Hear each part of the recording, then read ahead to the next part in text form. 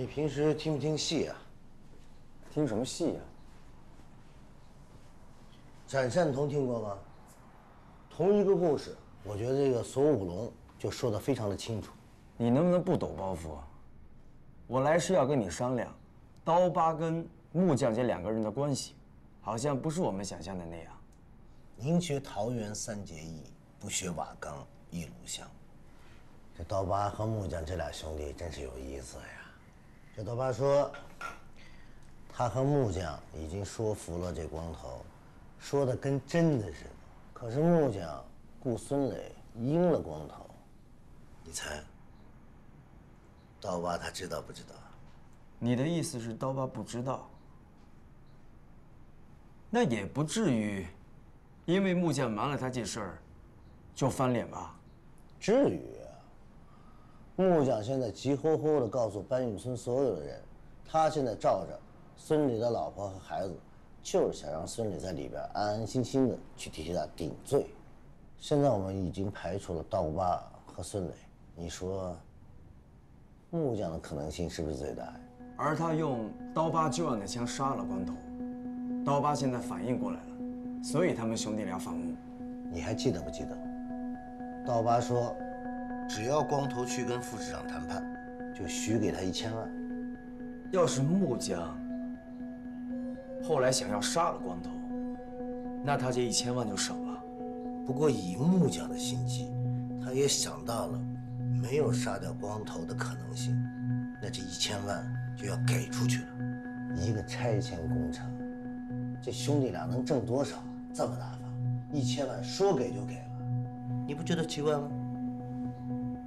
不过现在招标会一开，我们基本上就有答案了。记住，我们破的可不仅仅是一桩凶杀案。要想知道这潭水到底有多深，只有一个标准。什么标准？钱。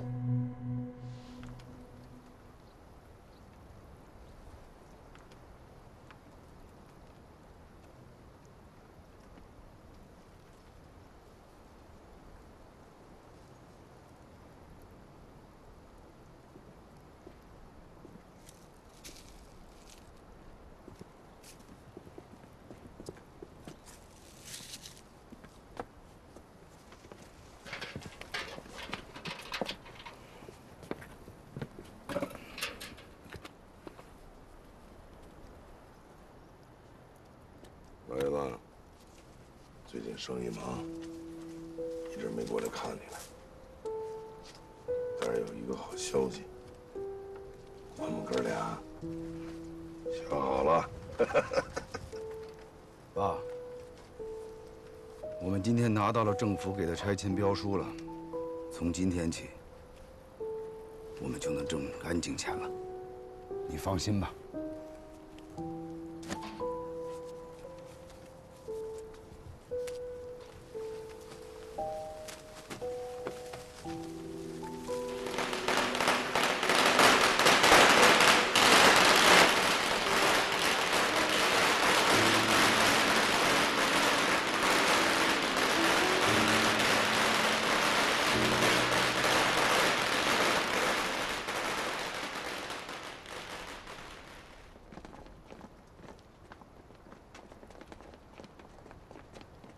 小陈总，哥，你们先上车。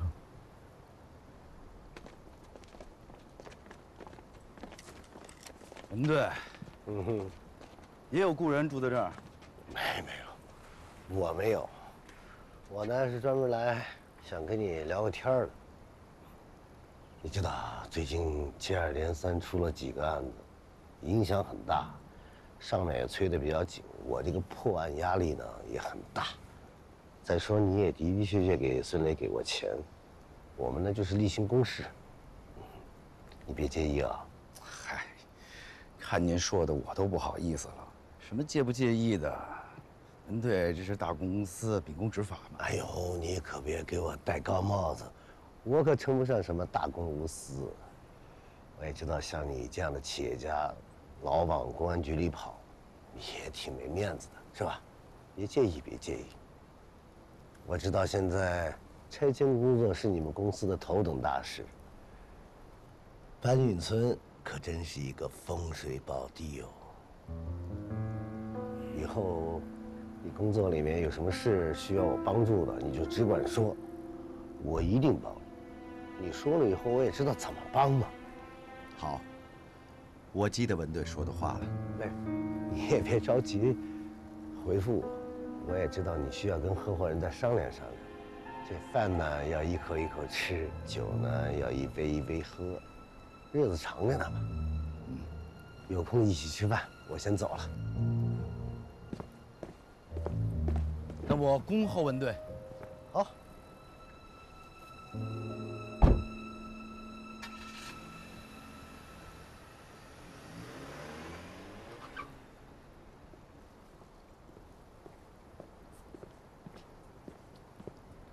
干嘛来了？谈合作。关了你一天，还有脸跟你谈合作呢？挺有谈判技巧的。先给你面前秀秀肌肉，告诉你你不听话，他就会怎么收拾你。然后，再跟你谈该怎么合作。只不过开了口，什么都没说，让你猜，他知道多少。真他妈孙子啊！看老胡那儿没戏了，咱们这儿成了，扭过来就跑咱们这边来了啊！哎，不好说。胃口大小是一回事，葫芦里卖的什么药是另一回事。小峰，小峰，跟我。走。依然。不见。怎么了？你们几个干嘛去？证人保护。证人保护？谁给你批准了？你带人出任务，不给我打报告吗？你是队长，我是队长啊。你是队长。你还知道我是队长啊？谁给你批准了？文队，是我批准的。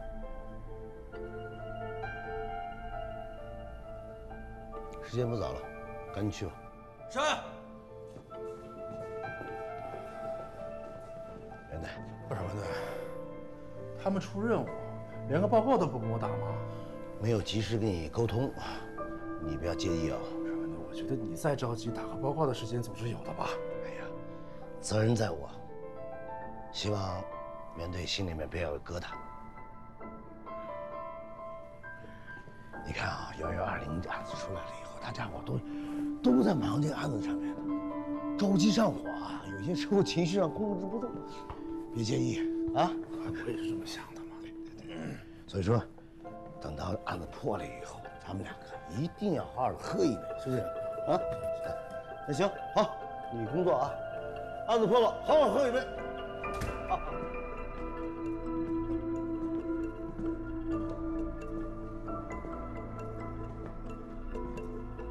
看了，工作吧。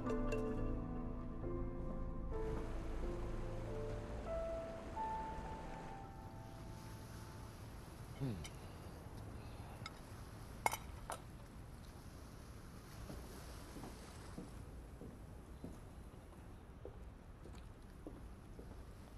没什么事，我先回去了啊。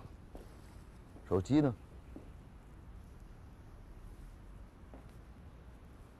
啊？不是这部。那哪部啊？联系用的手机啊，用完了得销毁的。那什么手机啊？我问你，昨天晚上十一点二十五分，你在哪？啊你啊，去给那店老板打电话，我当着他面把那手机给撅碎了。真的？你什么意思呀？我是你亲哥哥，你查我是吗？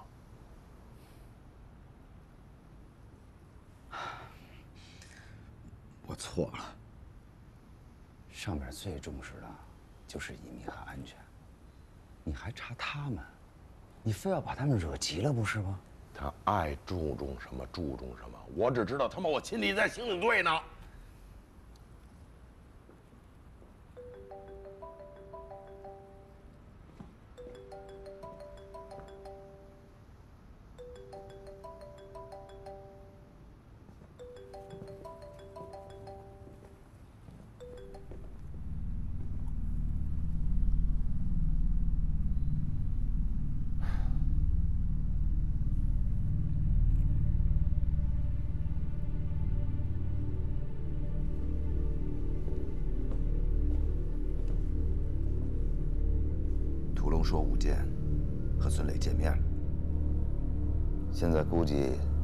家里人了。别担心，我会处理。这孙伟不靠谱啊！还真是有点小看了吴健。我早就说过，这吴健不能留。他现在要知道太多，咱们之前做的事儿不全都白费了吗？我找去。哎，不是跟你说了吗？我去处理，我会安排。上边再三叮嘱，千万千万不能再出任何岔子了。我说你这脑子一天天的我都不知，别破发现。你就天天都是上边，弄得你现在是缩头缩尾。早做了五件，现在有那么多事儿吗？啊？招标会刚刚拿下，现在动一个警察不值当。咱们只要捏住他老婆孩子这个脉，孙磊就不敢乱说。你做生意，我不反对。但是这拳头要是软了，狗屁都别聊了。哎，哥，别闹啊！你别乱来。手机。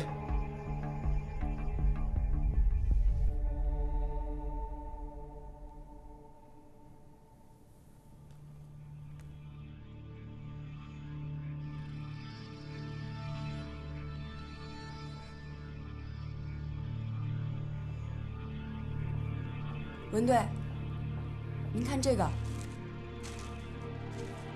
这个是有人穿过玻璃门的时候遗留下来的。这个衣服纤维是常见的纯棉材质，玻璃门上发现指纹了吗？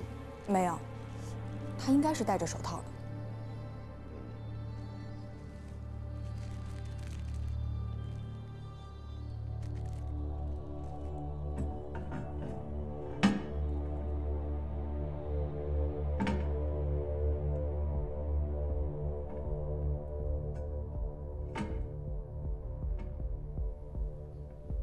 垃圾桶里有什么发现？垃圾桶是空的，但是在垃圾桶的桶口发现了部分的火药残留。经过对比，这个衣物纤维跟玻璃门角上遗留的纤维是一致的。你觉得这房间里的第三个人是怎么离开现场的？枪手离开现场前，是把整个胳膊伸进了垃圾桶里，把枪藏起来的，这样轻拿轻放，避免发出声响。他还想躲在二楼的房间里藏起来，等到二楼人慢慢多起来的时候，他再出来蒙混过关。嗯，对，不对，按照孙磊和刀疤提供的时间点，他出来会碰见武健或者铁头。那他如果是往反方向跑，绕了一圈呢？会碰见刀疤。除非他走了密道。他走密道会碰见灵叔和刀疤。他应该不知道这个密道，不然的话他也不用藏枪，直接带出去就可以了。嗯。如果他从外面走，他必须要混进刀疤或者铁头的人里面，这样他才能够安全的逃脱。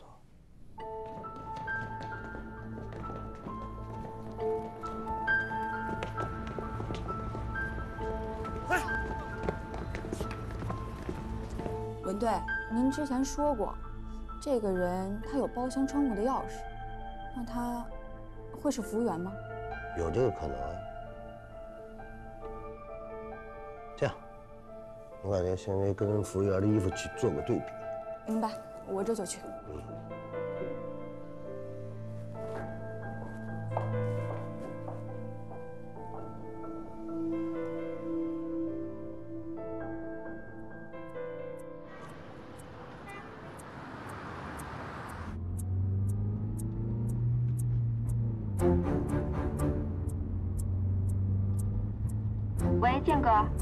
十分钟到医院，你们再次确认一下证人保护地点的安全性，千万不能出问题，听到没有？好的，建哥。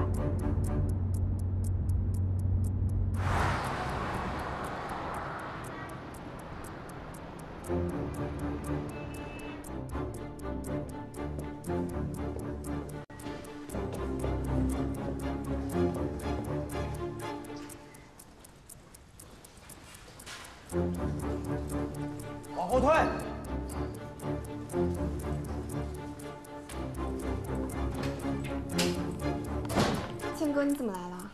什么都不要问，你现在有危险，换上衣服跟我走。可是我连衣服都没有，被他们收走了。我带了，把孩子给我。快！哎，老大，是刚刚那警察来了。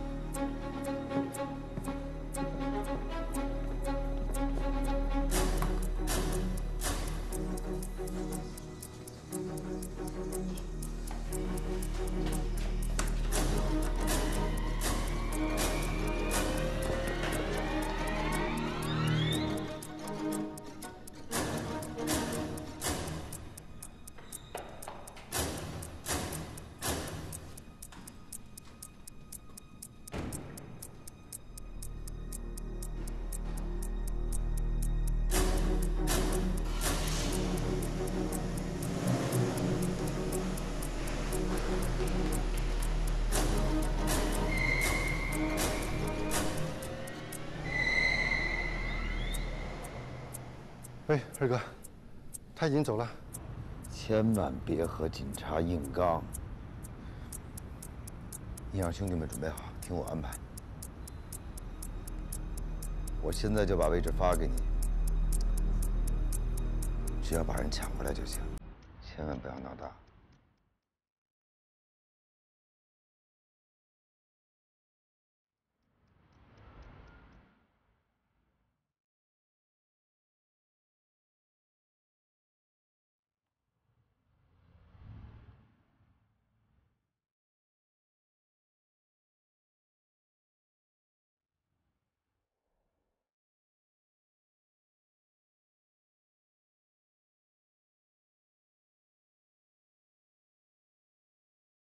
停！放大！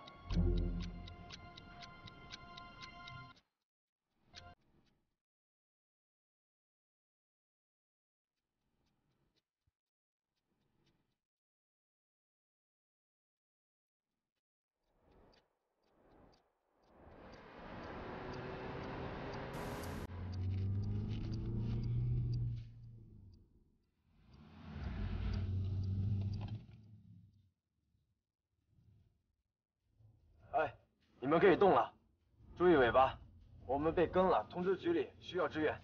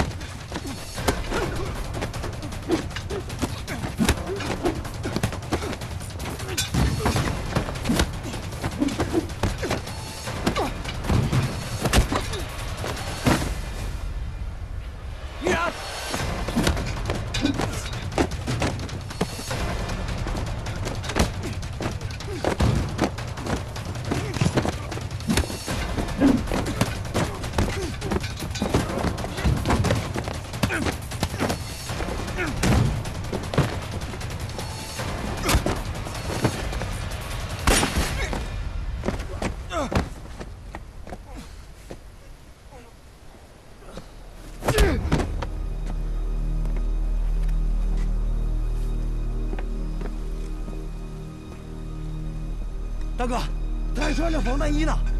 大哥，他是警察，不是小慧。操，中计了！有警察，先把他带走，找地儿埋了。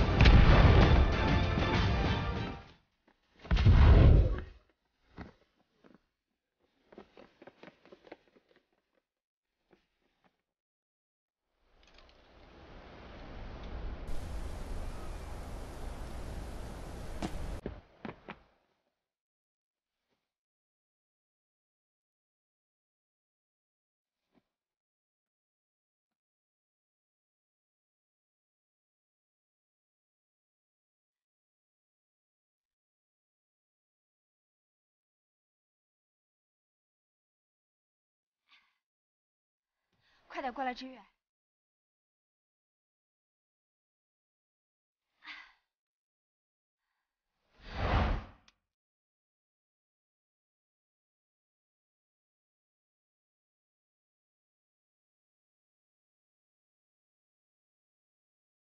这是我们同事，放心跟他们去吧。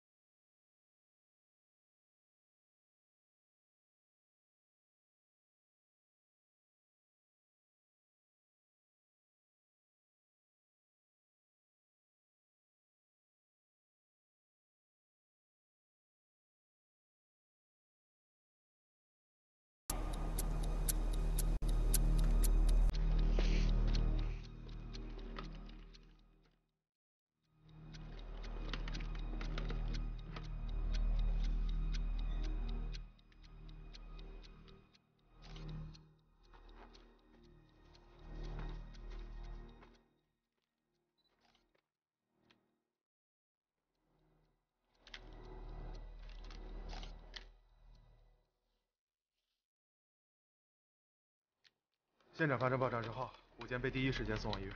嗯，艺人就是这么说的，对吗？对。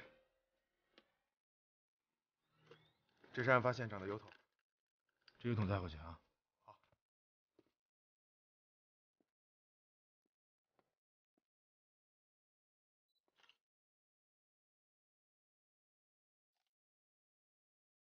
这看着像土枪打的呀，把子弹带回去啊。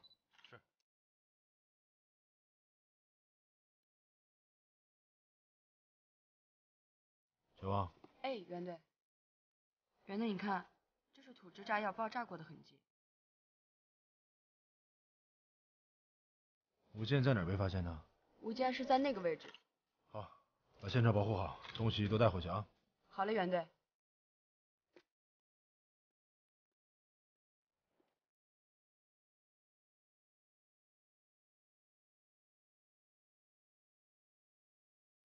文队，哎，武健被枪击了。从这个防弹衣上提取的弹头来看，是非制式枪支近距离射击。人已经昏迷送医院了。依然头部遭到撞击，但是意识已经恢复了，也跟着去医院了。还有呢？依然跟最先到现场的同志说，他们在第一现场的时候啊，他们的车被一辆面包车截停。他们下车之后呢，遭到一群这个蒙面黑衣人的袭击，头部遭到重创，很快就失去意识了。现在根据第二现场的情况来看啊，犯罪车辆在五建被袭以东一公里的地方也遭到了袭击，地面上有很多爆炸的痕迹。我们来的时候，五建已经昏迷在路边了，应该是从犯罪车辆被拖拽过来的。对，还有根据现场的脚印来看。当时现场应该有很多人出现，后来又徒步离开了，应该是犯罪团伙弃车逃跑了。是，我们还要进行进一步的勘查。哎，对了，文队，小慧的情况怎么样了？我正在保护证人的安顿地，他们已经安顿好了。好，那我这边结束，马上就回去。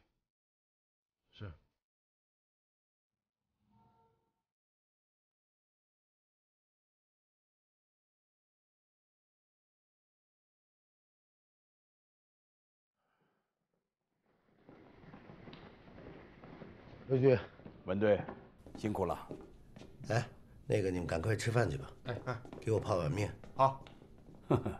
文队，前脚刚抓了一个这个袭击副市长的，后脚嘛又来了一帮袭警的，扫黑除恶的当口，真有不怕事儿的。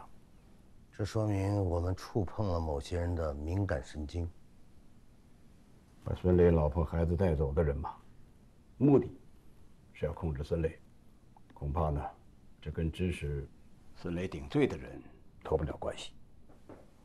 文队，您去现场的时候，我把一路的监控都调出来了，发现那帮人的车是从刀疤的一个修理厂开出来的。袁队查的挺快嘛。我是有重点的排查了一下，这些人的反侦查意识很强，都戴着口罩，没有说话，恐怕不好查。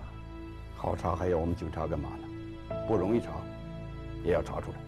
刘局，我倒有一个非常清晰的调查方向。证人保护工作保密性很强，路线、撤离方案都是随机的。是谁写的命令？查，一定要查到底。大家辛苦了。组长。哎。组长，罗源县那边出事了。怎么了？罗源县的一名刑警遇袭了。什么？谁遇袭了？知道是谁干的吗？目前还在查。遇袭的刑警叫武建，公安那边只抓了几个小喽啰，很明显，这里头有幕后黑手。看来，罗源县庙小妖风大，池浅王八多呀。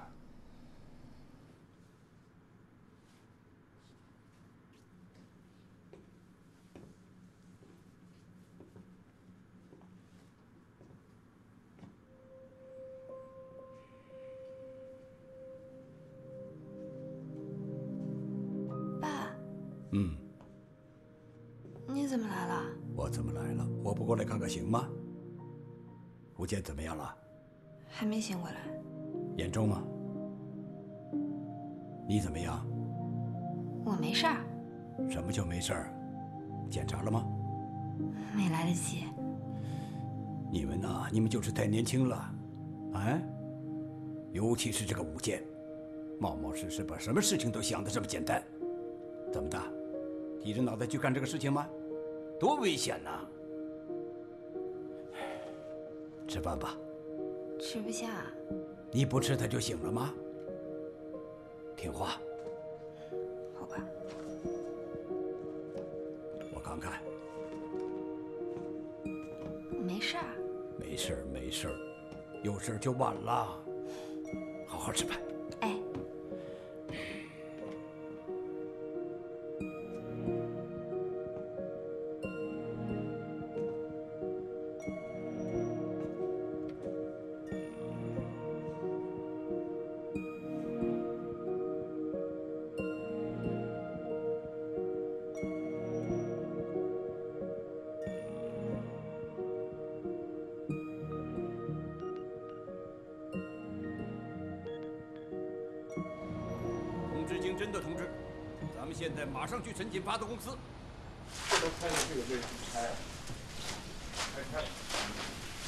你慢点啊，挺贵的。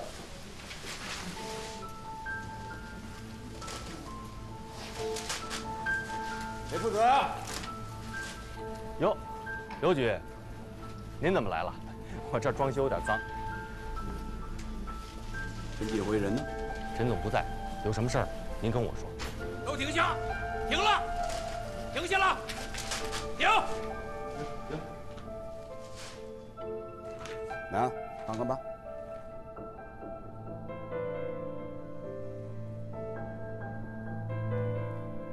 念给他。为调取犯罪嫌疑人陈锦辉涉嫌赌博的相关证据，因侦查犯罪需要，根据《中华人民共和国刑法》第三百零三条之规定，我局依法对丰州市罗源县通州路八十八号海丰大厦十八杠 A 挥发集团进行搜查。刘局，这么大的事儿，您不能血口喷人，您有证据吗？这么大的事儿，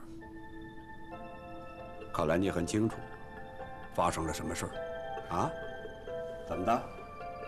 这回是你来替你们老板顶罪吗？告诉你们老板，做什么事情要有底线。钻了几次法律的空子，怎么的？真的以为自己无法无天了？警察都敢动，行啊！罗源县还不姓陈，有警察有法律。是，他想挑战极限，是吧？可以，那就让他做好承担一切后果的准备，知道吗？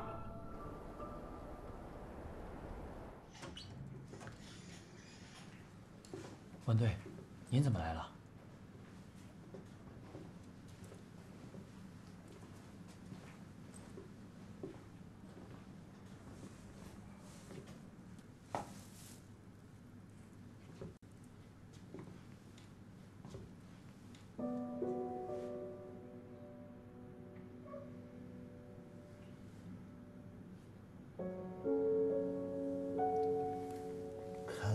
伤的真不轻啊！大家伙为你这点事儿，把罗源翻了个底朝天，你在这儿睡得倒是挺香的。那看来我给你带的这些好东西，你也没办法享受了，我就替你吃了啊！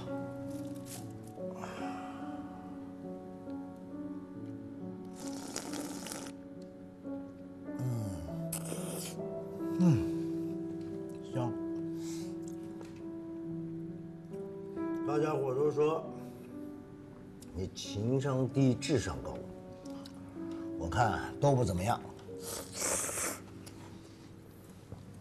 不然，你怎么冒这么大的险，受这么大的伤呢？嗯？你让我想起了一个人了。这人呢，跟你还真是挺像的。一个德行，都是属于那种不撞南墙不回头的犟驴。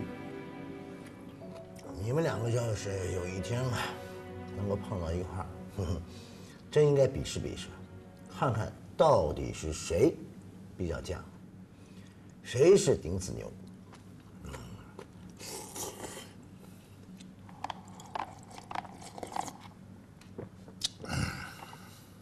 我呢？也算是来看过你了。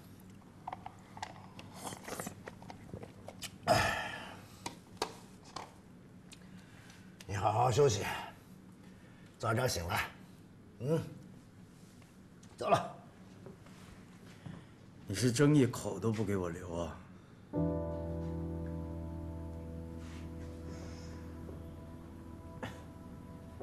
饿了吧？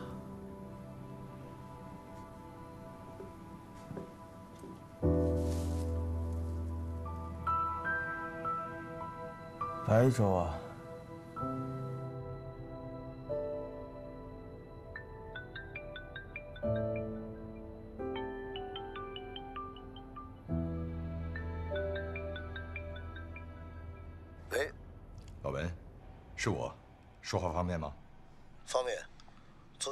指示？我听说罗源县局的武舰被袭击了。对，武舰确实被袭击了。种种迹象表明，我怀疑跟辉发集团有关。辉发集团为什么要袭击他？武舰是在执行一个重要证人保护措施的过程中遇袭的，具体什么原因还需要调查。等事情清晰一点了，我再向您详细汇报。你对武健这个同志怎么看？原本我对他是有所保留的，因为他本身是从班雨村里出来的，社会关系复杂，跟之前的一起重大案件还有一定的关联，对我的戒备呢也一直很重。但是现在我完全信任他，他其实是个老实孩子，夜路走多了，比较谨慎罢了。在罗源这个地方，刚而不易折，说明他还是个明白人，也算在罗源这片傣族当中为数不多的好族。看来，你对他的评价还是很高的嘛。我相信你的判断。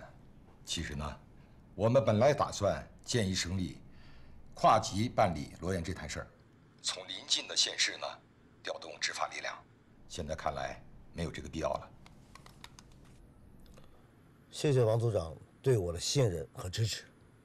黑恶势力如此猖狂的袭击办案民警，一方面说明老文啊，你们的办案方向是对的，踩到了他们的尾巴；另一方面呢，也说明这股势力背后的伞和网有多么的不简单。越是这个时候，我们越要沉得住气。老文啊，你们在明，他们在暗，情况错综复杂，你们一定要注意安全。好的，有您这句话，我就心里有数了。王组长放心。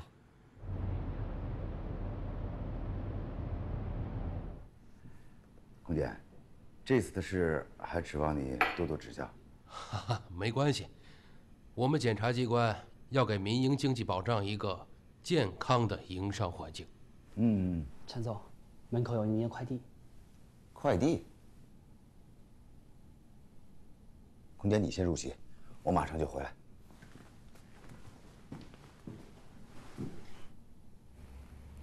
你好，你是陈先生吗？是。啊，这个包裹是急件，而且需要你亲自签收。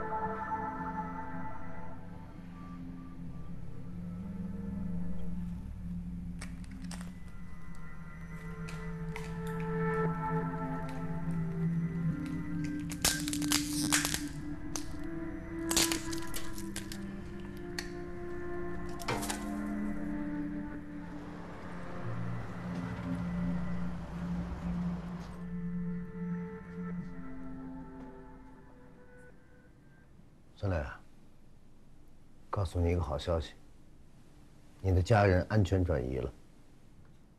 他们现在在哪儿啊？地点要保密。我现在不能告诉你。你如果想知道的话，等武健醒了，去医院问他。医院？他怎么了？他为了保护你的家人，被人袭击了。怎么回事？中了一枪。中了一枪。他现在怎么样啊？还在昏迷中，抢救。是谁干的？在罗源县这个地界上能干出这种出格的事儿，你觉得还有谁啊？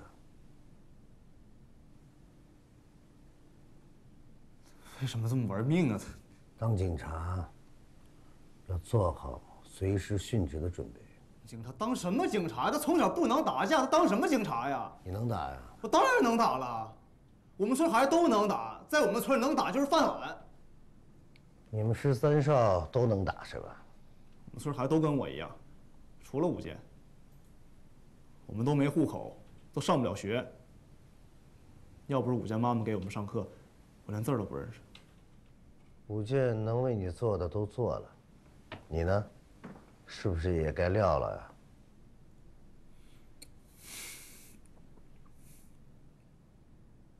木匠，是木匠让我顶的罪。他给我一笔钱，是打拆迁员枪击副市长的，后来光头被枪杀了，他让我把这个罪也认下来。木匠让你枪击副市长，是要命的那种，还是吓唬的那种啊？他只说，在大庭广众之下对副市长放一枪，打不打得中都无所谓。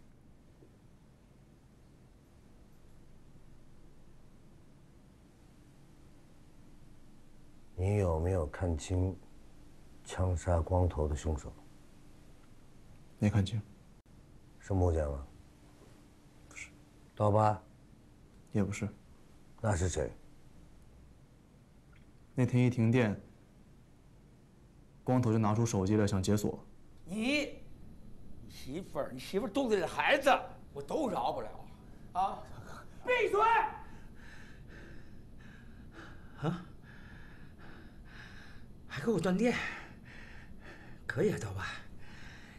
这时候门就开了，只看到一个人影。我顺着门开了，本能反应抬头一看，然后就中枪了。开了几枪？一枪。光头呢？躺地上。关于枪，木匠是怎么跟你说的呀？他最开始让我说是从黑市上买的，后来突然改口，让我一定坚持说是光头带来的，而且是刀疤一战成名的那把枪。木匠对这枪还是挺了解的啊。不奇怪。木匠特别会钻关系。他跟我说，教我的这些话，都是专门找人编的。那他，在我们公安局是不是也有关系？我好像听见过他跟一个警察打电话，他叫那个人土龙，但我也不知道是谁。